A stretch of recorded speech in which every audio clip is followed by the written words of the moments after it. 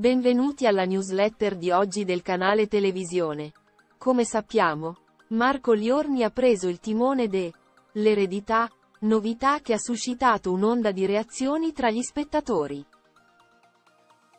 Nonostante le battute leggere, come il suo scherzo su un'ipotetica carriera politica, Liorni ha mostrato una certa nostalgia per il suo precedente incarico a reazione a catena, ricordando emozionato il suo percorso. Ho pianto come una fontana, è stato liberatorio. Intanto, i fan sembrano non gradire molto la sua presenza, vogliamo l'altro conduttore? L'opinione dei fan. Il debutto di Liorni ha certamente fatto rumore.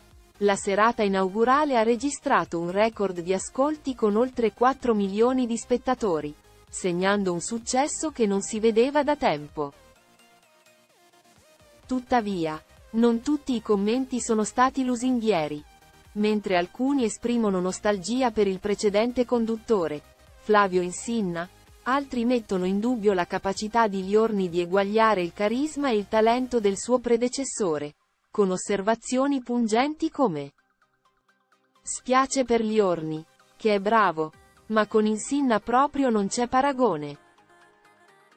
La RAI ha accolto con entusiasmo gli esiti positivi, evidenziando come i cambiamenti apportati al format e la scelta di Liorni come frontman abbiano rinfrescato la trasmissione.